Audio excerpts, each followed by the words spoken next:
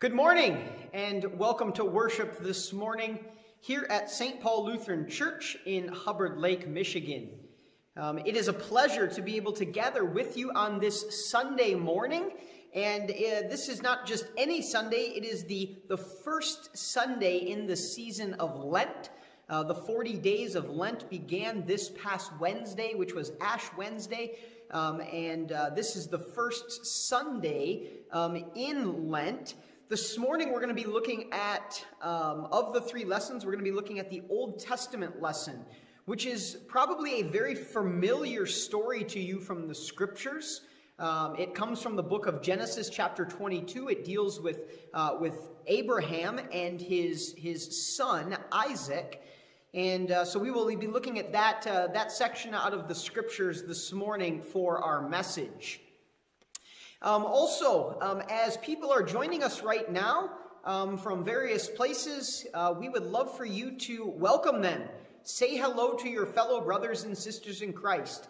Uh, yes, we are separated by space, um, as you are not able to gather with us in person for worship this morning. Um, however, um, there are other folks that are joining you online right now. So um, welcome them in the name of the Lord. Share the peace of Christ this morning as people are joining. Secondly, um, we would love for you to join in with us just as if you were sitting in a pew here on Sunday morning. Um, and so that means feel free to, to sing out the hymns um, loudly and, and give all praise to God, um, just as, as you would if you were here in this place. It doesn't matter if you're sitting there at home. I know it might seem kind of weird or goofy to do that, but hey, you're worshiping the Lord, and, and this is a, a great opportunity for us to be able to not only gather together, but be able to um, have that time of worship um, and also to receive the gifts that God has to give through His Word this morning. That's it for our pre service stuff. We begin with our opening hymn this morning Oh, that the Lord would guide my ways.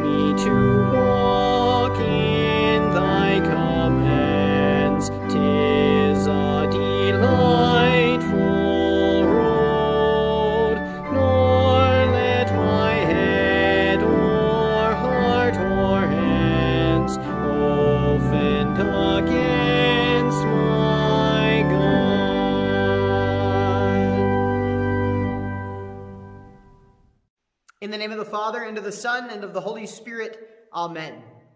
Jesus said, Watch and pray that you may not enter into temptation. The spirit is indeed willing, but the flesh is weak. Be sober minded, be watchful. For your adversary, the devil, prowls around like a roaring lion, seeking whom he may devour. Therefore, let anyone who thinks that he stands take heed lest he fall. No temptation has overtaken you that is not common to man. God is faithful, and he will not let you be tempted beyond your ability. But with the temptation, he will also provide a way of escape, that you may be able to endure it. God's word reminds us that when we were slaves of sin, we were free in regard to righteousness. But now, now that we have been set free from sin and have become slaves to God, the fruit that we get leads to sanctification and its end, eternal life. For the wages of sin is death, but the free gift of God is eternal life in Christ Jesus our Lord. Let us then confess our sins to God, who has brought us out of slavery and promises to lead us to the promised land of heaven. Heavenly Father, we know we are blessed when we remain steadfast under trial, yet we fall prey to the devil's schemes and give in to temptation. We are lured and enticed by our own evil desires, desires that contradict your good and gracious will. For Jesus' sake, forgive us our sins and cleanse us from all unrighteousness. As Jesus began his ministry, he said, The time is fulfilled, the kingdom of God is at hand. Repent and believe in the gospel. As you have repented of your sins, believe these words, as if Jesus was standing here speaking them to you. I forgive you all of your sins, in the name of the Father, and of the Son, and of the Holy Spirit. Amen. When he calls to me, I will answer him. I will be with him in trouble. I will rescue him and honor him. With long life I will satisfy him and show him my salvation. Because you have made the Lord your dwelling place, the Most High, who is my refuge, no evil shall be allowed to befall you, no plague come near your tent. For he will command his angels concerning you, to guard you in all your ways. On their hands they will bear you up, lest you strike your foot against a stone. You will tread on the lion and the adder, the young lion and the serpent you will trample underfoot. When he calls to me, I will answer him. I will be with him in trouble. I will rescue him and honor him. With long life I will satisfy him and show him my salvation. Lord, have mercy. Christ, have mercy. Lord, have mercy. Of his own will, he brought us forth by the word of truth, that we should be a kind of first fruits of his creatures. O Lord, hear our prayer, and let our cry come to you. Let us pray. O Lord God, you led your ancient people through the wilderness and brought them to the promised land. Guide the people of your church, that following our Savior, we may walk through the wilderness of this world toward the glory of the world to come. Through Jesus Christ, your Son, our Lord, who lives and reigns with you in the Holy Spirit, one God, now and forever. Amen. The Old Testament lesson on this first Sunday in the season of Lent comes from Genesis chapter 22, beginning at the first verse.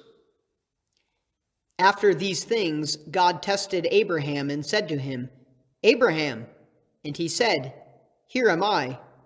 He said, Take your son, your only son Isaac, whom you love, and go to the land of Moriah, and offer him there as a burnt offering on one of the mountains of which I shall tell you. So Abraham rose early in the morning, saddled his donkey, and took two of his young men with him, and his son Isaac. And he cut the wood for the burnt offering, and rose and went to the place of which God had told him. On the third day, Abraham lifted up his eyes, and saw the place from afar. Then Abraham said to his young men, Stay here with the donkey. I and the boy will go over there and worship, and come again to you. And Abraham took the wood of the burnt offering, and laid it on his son Isaac. And he took in his hand the fire and the knife. So they both went both of them together. And Isaac said to his father Abraham, My father. And he said, Here am I, my son. He said, Behold the fire and the wood, but where is the lamb for the burnt offering? Abraham said, God will provide for himself the lamb for a burnt offering, my son. So they went both of them together. When they came to the place of which God had told him, Abraham built the altar there, and laid the wood in order, and bound Isaac his son, and laid him on the altar on top of the wood. Then Abraham reached out his hand, and took the knife to slaughter his son. But the angel of the Lord called to him from heaven and said, Abraham, Abraham! And he said, Here am I. He said, Do not lay your hand on the boy, or do anything to him, for now I know that you fear God, seeing you have not withheld your son, your only son, from me. And Abraham lifted up his eyes and looked, and behold, behind him was a ram caught in a thicket by his horns. And Abraham went and took the ram, and offered it up as a burnt offering instead of his son.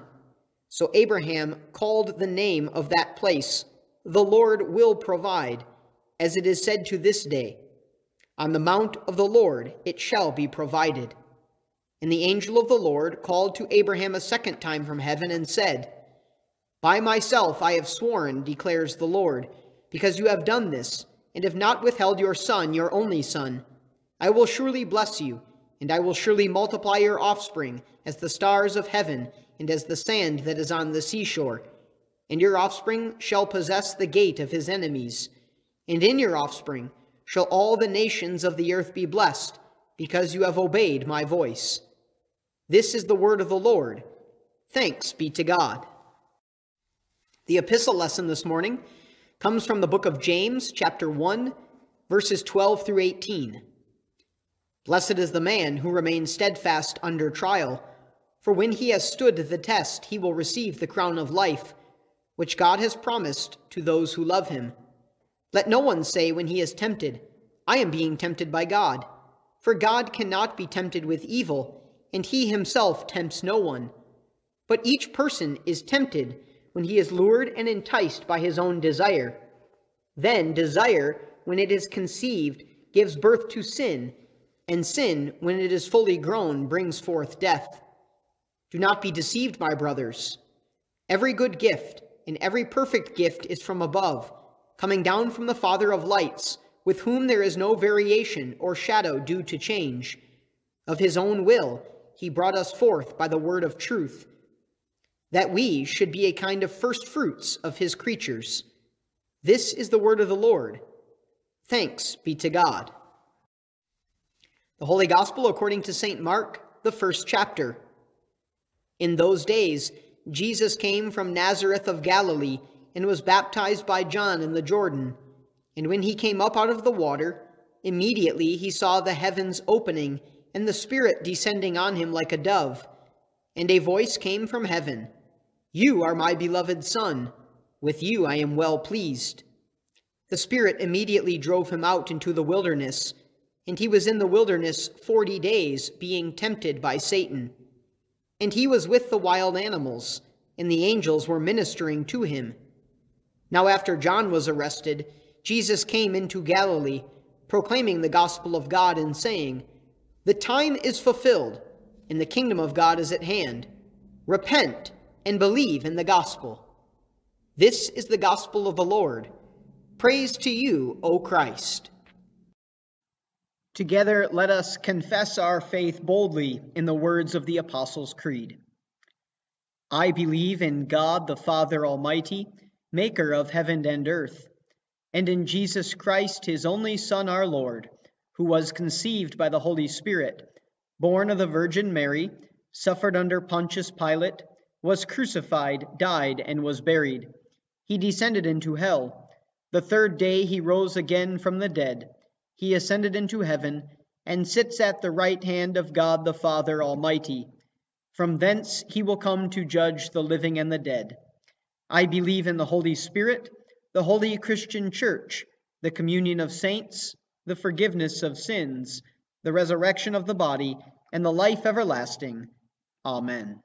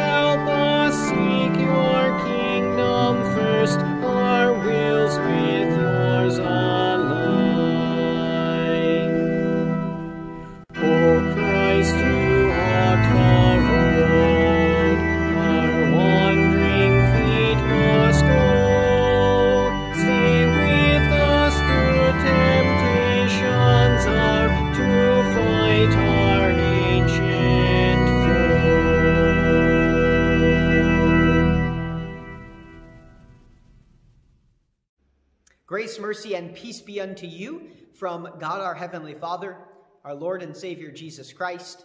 Amen. Three days, three long, gut wrenching days during Abraham's life. Three days where he must have been thinking something, something is definitely wrong here. And I think that we can probably all agree with that sentiment, even though we know how the story ends from Genesis chapter 22. We cannot help but read this account in Genesis and think that something is definitely terribly wrong. Wrong for God to command a father to slaughter his son. In fact, some, some might even question what kind of a God would make that sort of a request, would request a horrific thing such as that. As we take a step back from the passage and we look at exactly what is taking place and nothing else, something is wrong. How wrong is it? Because of the love in this father son relationship. I want you to look at what God says here. Take your son, as he's speaking to Abraham, his servant. Take your son, your only son Isaac, whom you love. Abraham loves Isaac. And he should, right? This is his son, the one that he has waited for, the one that he has longed for, the one that he had even as an old man. He no doubt wants to watch his son grow up, to become a strong man, to mature as he is the light of his life. But we hear, we hear of this love in yet another way between this father and son in the conversation between the two of them. Isaac looks over to his father and says, My father, here is the wood and, and here is the fire, but where is the lamb for the sacrifice? In other words, hey, dad, we got everything that we need here to have a sacrifice, except for the animal for the sacrifice. And Abraham responds in just such a simple way My son, God will provide. God will provide. And we see this relationship between father and son, between Abraham and Isaac, and it speaks between the love that they had for one another. And in the midst of that love, in the midst of this relationship, we hear God say, Abraham, go sacrifice him. What a blow to the gut. What a horrific thing to have to hear. How could God ask of such a thing? A father here is, is told to sacrifice his son. We hear that and we think something is definitely wrong here. Not just from the human perspective, of course, but also from a biblical one, right? I mean, if we recall, God has promised to Abraham that he will be the father of many nations. Remember that? He said that he promises that his offspring will be as numerous as the stars in the heaven and as the sand upon the seashore. And so killing Isaac would be breaking that promise. Something definitely appears to be drastically wrong.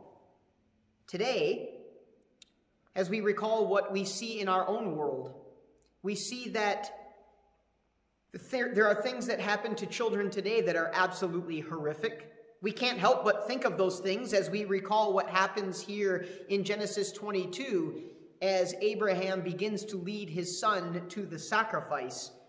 We think about children being murdered by parents, gang violence. Something is definitely wrong here, we think. Little boys and, and little girls being diagnosed with terminal cancer, undergoing intense treatment, losing their hair, giving up their childhood. Something is terribly wrong here. Teen suicide and school shootings, anxiety and depression among young people is on the rise. Parents burying their children. Something is definitely wrong here. You know, when Samuel was born, uh, that, that'd be our youngest son, when he was born, he had to be rushed off to the NICU because he was having seizures, and many of you know that, and many of you were praying for him and for our family during that time. And when Melissa and I were told that our son had had a stroke, you know, there was a lot of unknowns for his future at that point. And me in particular, and I'm sure the same is true with Melissa, we couldn't help but see that something was wrong in this situation. This is not the way it was supposed to be. And then, in addition, when things like that happen, and things like things that I talked about with other children happen, we think, what about God's promises? Right? That's what I was thinking about with Samuel. I think a lot of people think about that when they're dealing with their children and something horrific is happening. Or when anything is horrific, happening to a child, we think, what about God's promises? What about God's promise to never leave or forsake? What about God's promise that He's going to hear our prayers? What about God's promise that He's going to surround you with His grace? You know, when we see these horrific, these horrible things happening to children, when you see your own son and daughter in pain, or a grandchild, you definitely begin to wonder about the promises of God. Something Something is terribly wrong here. Abraham had something very wrong here also. I think he could probably see that in one respect. He had to travel three days, three days to that mountain, and those must have been some of the most awful and painful days for a father to know what lie ahead for his son. And yet, even though those three days must have been painful, gut wrenching, we see in Abraham's words that he had hope. He trusted that God would provide, not only in the words that he speaks to his son, but even as he says to his servants, You stay here, and I and the boy will go up to the mountain, and we will come back to you. It's not, I'm going to come back to you. It's the boy and I are going to come back to you. We will come back to you. Abraham here is trusting that God is going to provide.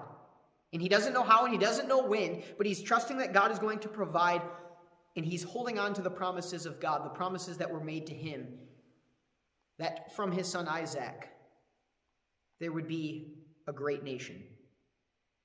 And he believes that God is going to work out the details, even though he doesn't understand them. He believes that so much so that he goes all the way to the point of raising a knife against his son in sacrifice. Now, perhaps you're skeptical of that. Maybe you think there's no way that Abraham could have known what God was going to do or what was going to happen.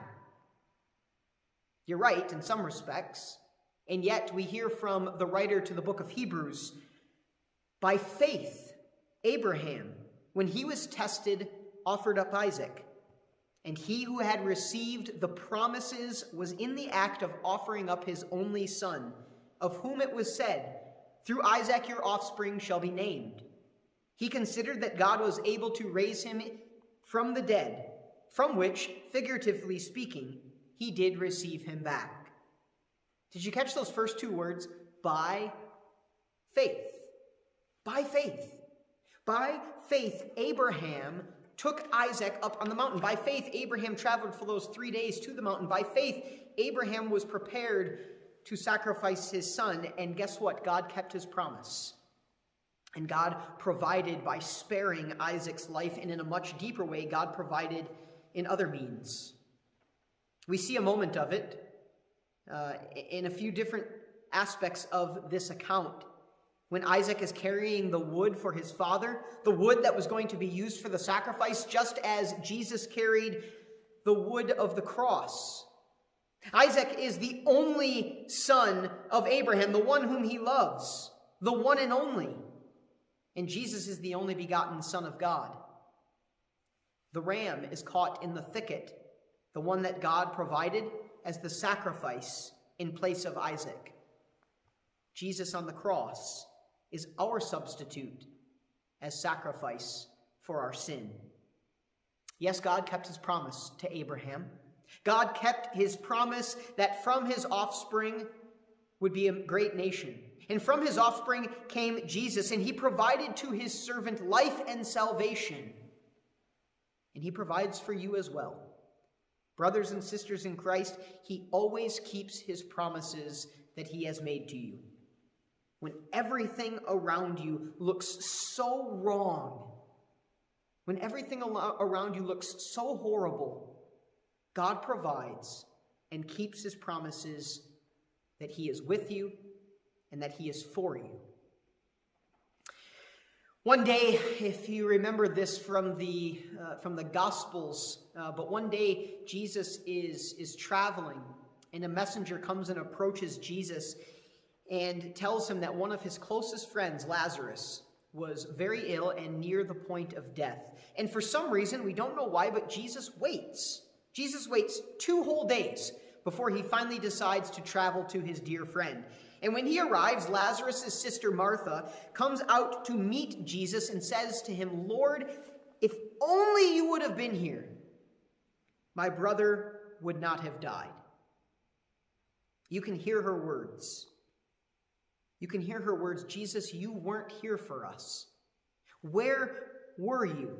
Something is wrong here, Lord. Why weren't you here? And Jesus responds to her with a promise. I am the resurrection and the life. Whoever believes in me, though you die, will rise again. Martha, do you believe this? He asked her. And Martha confesses that she indeed does. But Jesus doesn't just stop there. He goes on and he meets Mary. And Mary is there in tears as she laments over the death of her brother. Lord, if you would have been here, then my brother would not have died. This time, Jesus doesn't have a conversation with Mary. Instead, he simply weeps with her. He weeps, he cries over the death of Lazarus. Now, that might seem maybe a bit odd, although Jesus is human and this is his friend, but he knows what's going to happen. He knew that Lazarus was going to die. He knows that he is going to bring him back from the dead, and yet he weeps. And he shows us something. Jesus shows us that knowing the end of the story doesn't mean that you can't cry during the sad parts. Right? Just because you know how the story ends doesn't mean that you can't cry during the horrible, awful, terrible, sad parts of the story. We know that God provides. We know that God keeps his promises in his son Jesus. And we know that Jesus is with us even when things are so, so terribly wrong. We see God's provision and we see his promises kept on the cross and kept and fulfilled in the empty tomb. Jesus never leaves you. He never forsakes you.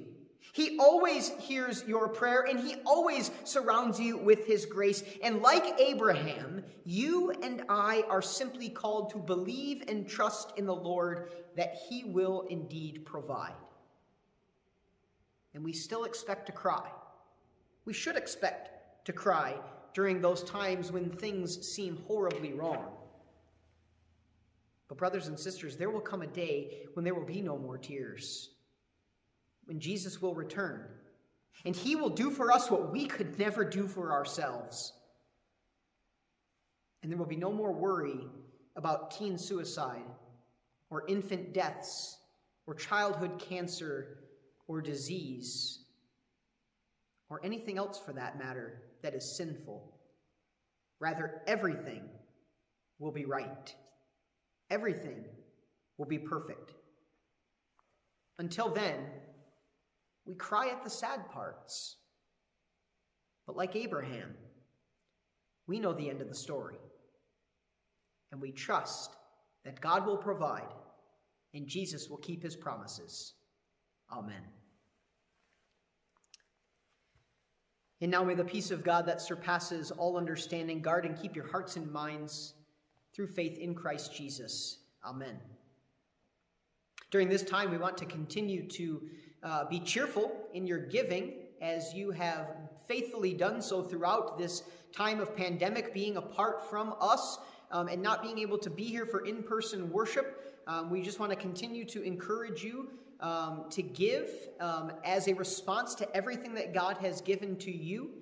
And uh, there's a couple ways that you can do that. Um, many of you are aware of those ways, but uh, for those of you that maybe are not aware, you can mail your offering to the church. You can even drop it off throughout the week.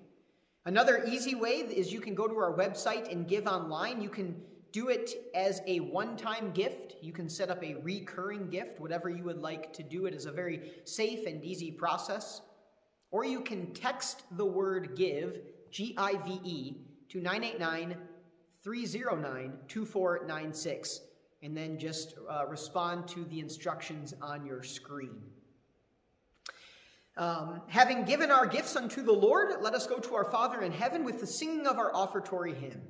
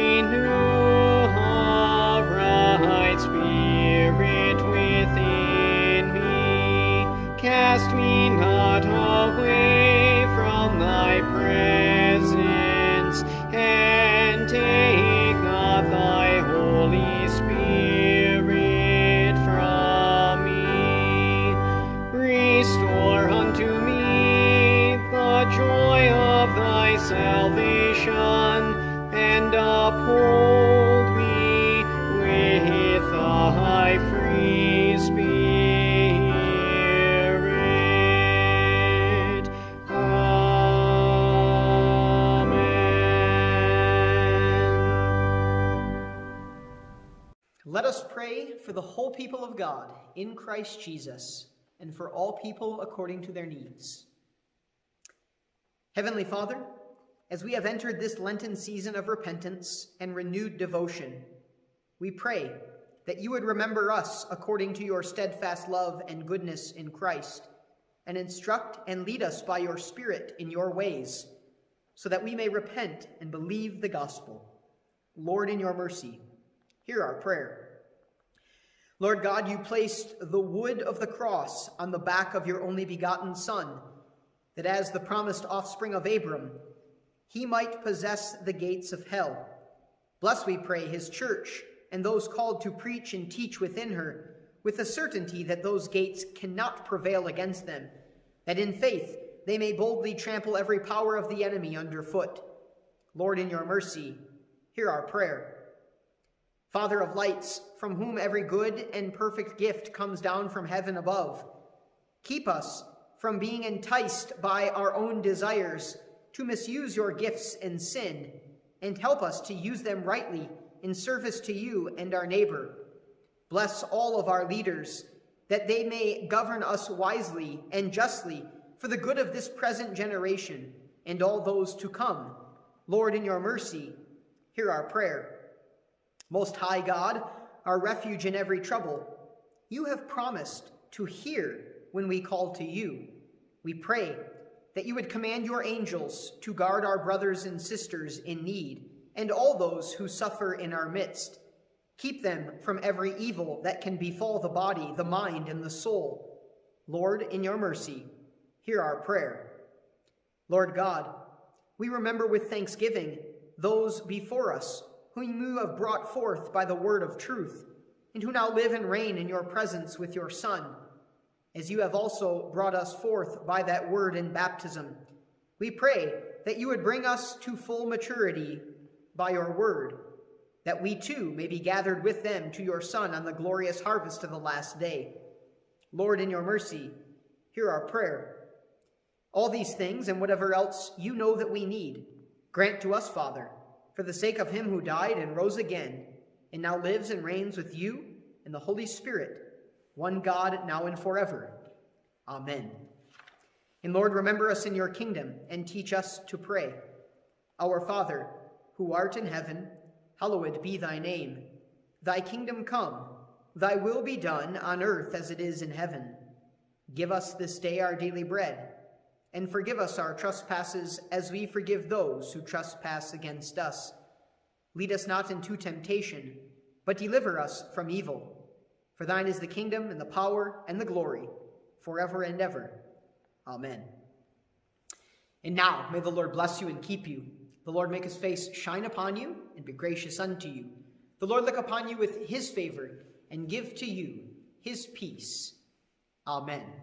We close this morning with our final hymn, A Mighty Fortress is Our God.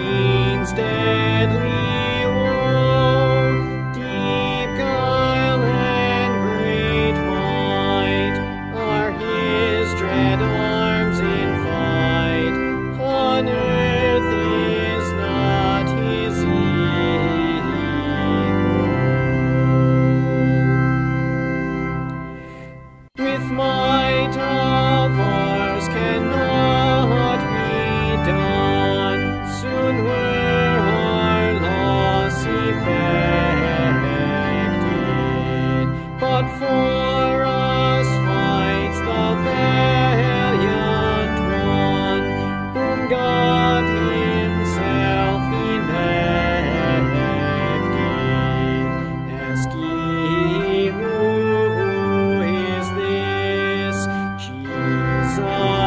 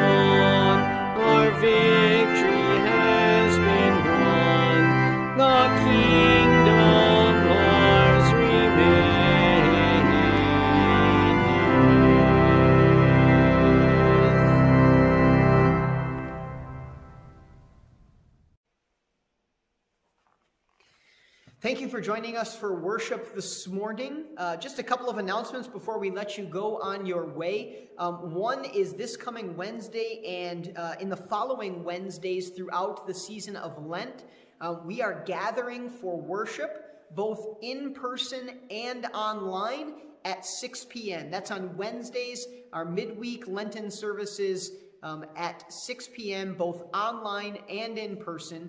Our theme this year is Return to the Lord. And uh, we are looking at, at, various aspects of the scriptures where we are called to return. And um, this week, I believe we are looking at returning in prayer. And so we hope that you will join us um, this coming Wednesday at 6 p.m. Also, um, I know it seems like it's far away, but it's really right around the corner. Um, Easter will be here before we know it. And um, Dorcas is reaching out to the congregation. If you would like to, um, to help out Dorcas with their Easter egg hunt, we are planning on doing that this year for uh, the children that attend um, that Easter Sunday. Um, if you would like to help out, they are looking for, for candy. And so um, they are looking for bags of individually wrapped pieces of candy um, and you can drop those off throughout the week on Sunday morning um, whenever you are um, able to do that. Um, and they thank you for, for helping out um, as they um, seek to uh, show some, some love and bring some joy to the children in our congregation and uh, even our community. Um, also, um, lastly, I just want to make a reminder to all of you at home that if you are in need of communion, if you would like um, private communion, if you want to come here, if you want me to come to your home, um, please reach out to me. Um, I know some people, and I have some people on my list that I've been kind of doing on a regular basis, but um, uh, if you are, are desiring that, please make sure that you reach out to me and make me aware of that, and uh, we can set it up for whatever works best for you. Um, that is it for, um, for this morning. Uh, again, go in peace and serve the Lord. Thanks be to God.